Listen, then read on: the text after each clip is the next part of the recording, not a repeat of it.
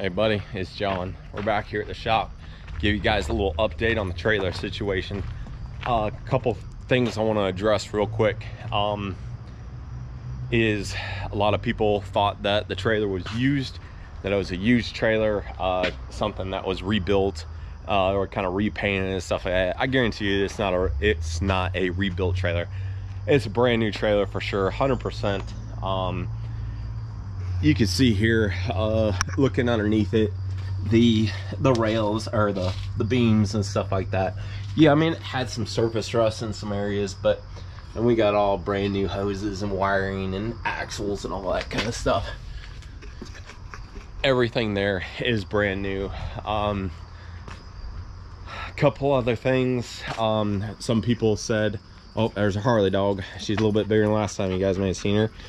But uh couple things. Too uh, some people like oh it looks like the trailer is twisted. How the trailer was sitting over there um, it was twisted uh, how this side of the trailer was kind of sitting in a hole. Made those ramps kind of lean like that. I mean the trailer is going to have some kind of flex in it for sure. But um so here's the here's what we decided to do with the trailer we are going to return it. I it's not really what i wanted to do but it makes sense. I'm not happy with the trailer so why keep something you're not happy with? Um, it's just gonna be trouble down the road i know for sure. I asked several people about different welders fabricators and stuff about um, about changing this out to lower the deck down and nobody wanted to do it just because the liability of it and cutting something um, you know they, they didn't want to be responsible for it. I, I don't blame them i don't blame them at all you know i don't blame anybody but i talked to the manufacturer. They are going to return it give me 100 percent back my money. And um, i got a guy coming tomorrow morning at 5 a.m to pick it up. It's actually a customer of mine uh, that we've done some work for. He drives truck now so he's going to run up there in his truck drop it off and I'm just I, I don't have time. Uh, I just don't have time to run it up there when it comes down to so the guys uh, washed it up got it ready to go. I mean yeah there's a little bit of paint came off the deck there and right here where we came off and on. But I mean it's fine. Um, I did pull the excavator on there to see how much it went down. Because they told me that you know that seven inches we had talked about how the front is seven inches higher than the back um, they the manufacturer said some of that would come out or if not all of it. It went down two inches. So at that point i was like I, I, pulled the 130 on it. I put the 130 on it to see what kind of flex it had in it.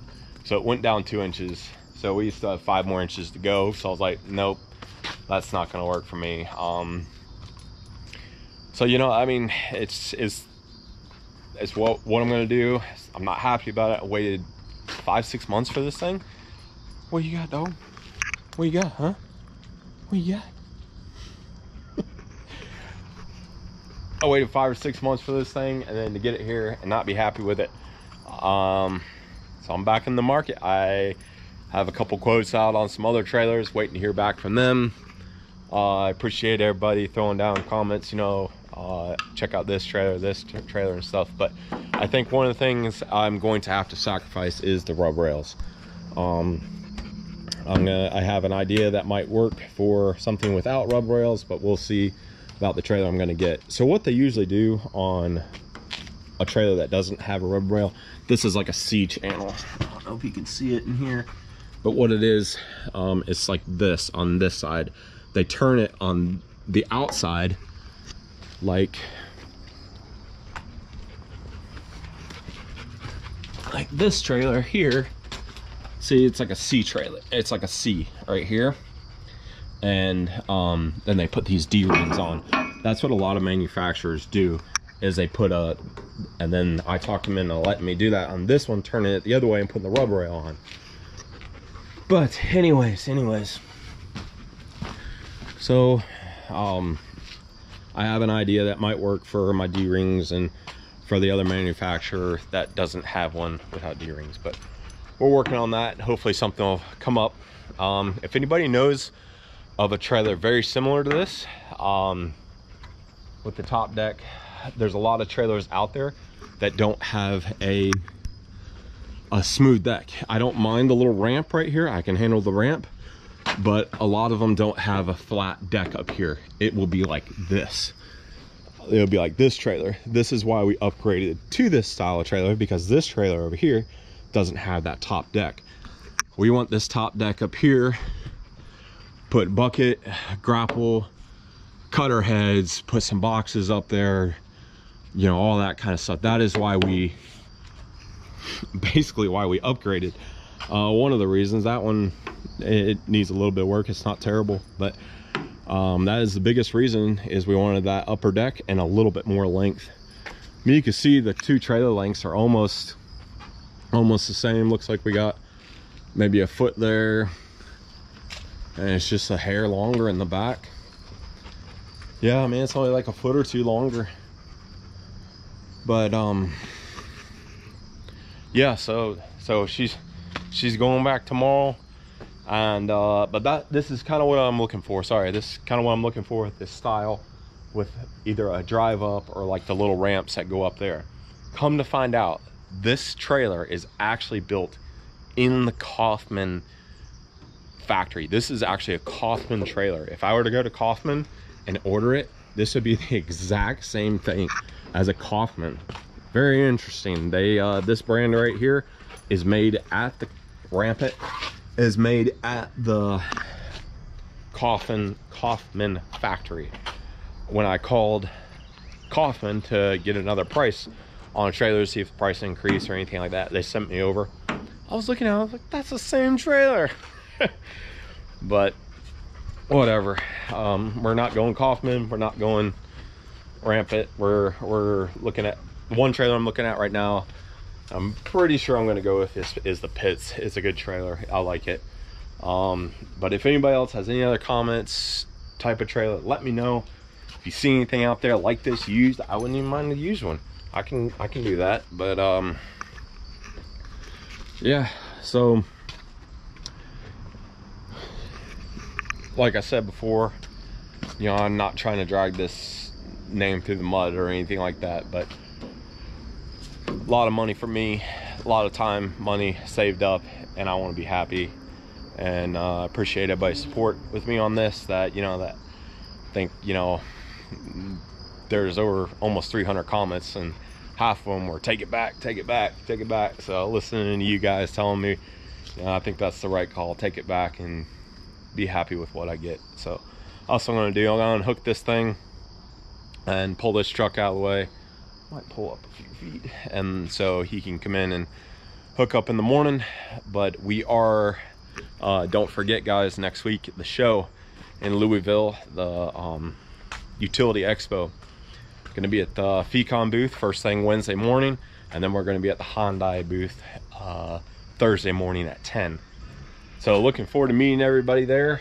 Uh, appreciate everyone's support help me out through this this uh trial with the trailer. but um yeah leave your comments below and uh stay tuned. We'll hope to see everybody at the show.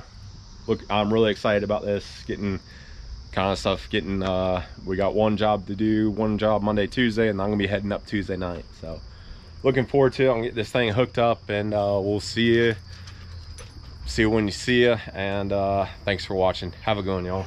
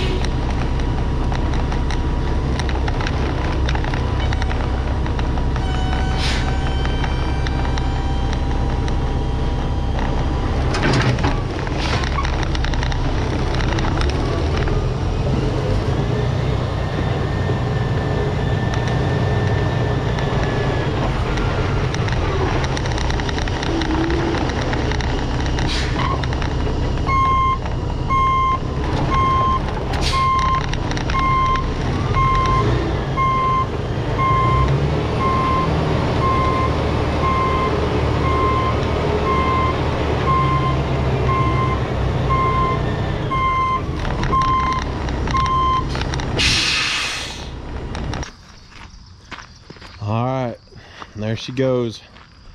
Be out here at 5 a.m. tomorrow morning.